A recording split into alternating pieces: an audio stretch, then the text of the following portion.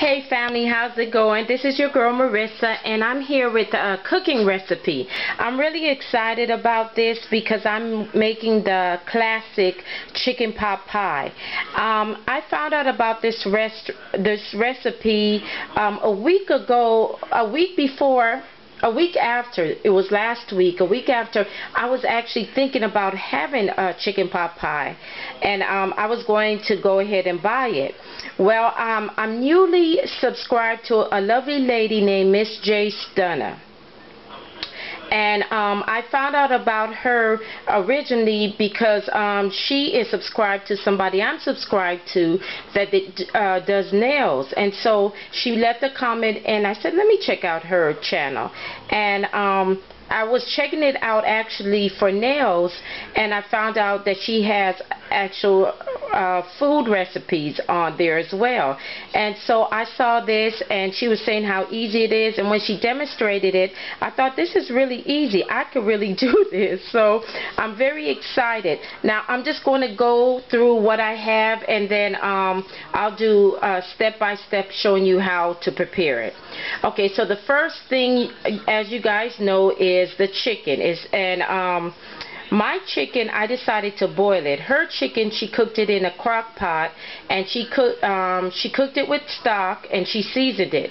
With my chicken, I decided to um, broil it and um, to uh, cook it with water instead of stock and I didn't season it.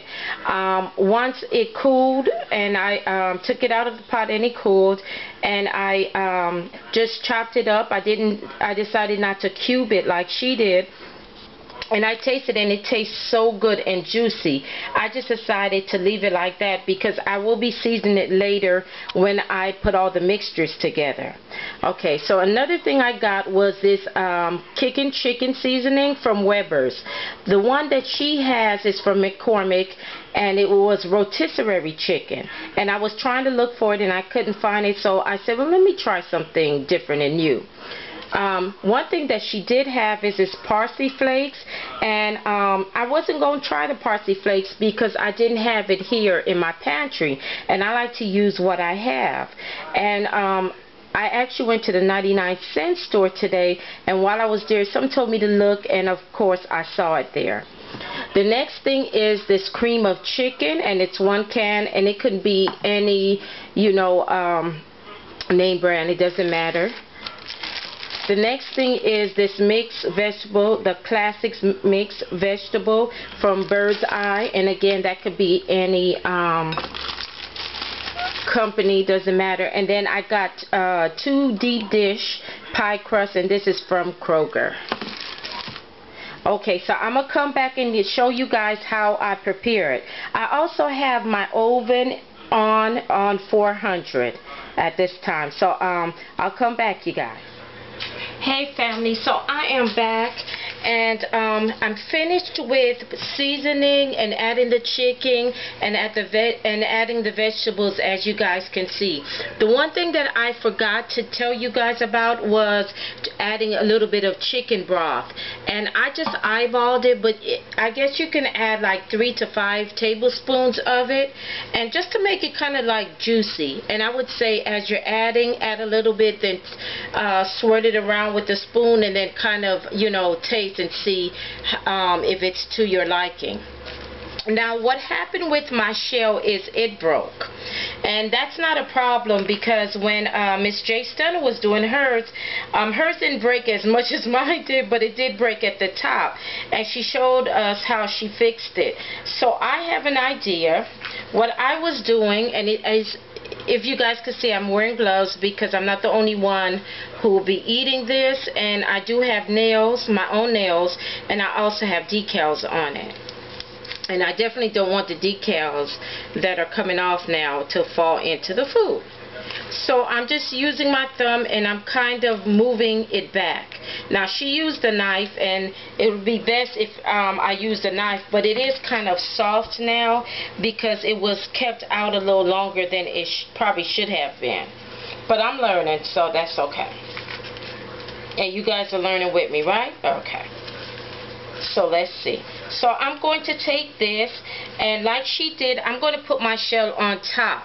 She didn't put any on the bottom, but she was telling us if that, you know, if we like it like that where you have the shell at the bottom and the shell at the top, you know, um, we could use the two pie crust but I decided to use the one pie crust like her and just to do it like this and this is our second pie crust, but I won't be using that. So I'm going to put that to the side.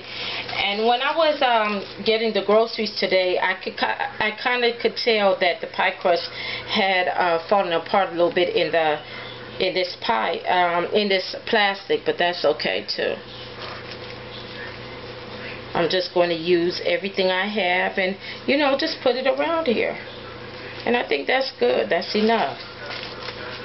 Now I'm going to get um, a knife and I'm going to slit the pie crust a little bit, making holes so it can breathe and when it's ready, it has room to kind of spill out a little bit. And I think that's enough.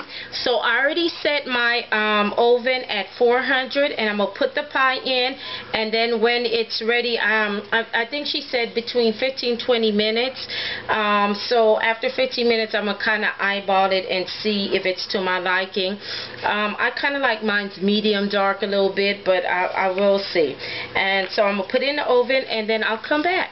Right, family. So here I am uh, showing you the um, ending result of my chicken pot pie. I did taste some and it tastes so good, you guys. Um, I cannot wait to uh, dig in. Um, it did break up a little bit, but it was kind of to be expected, especially since it didn't come whole.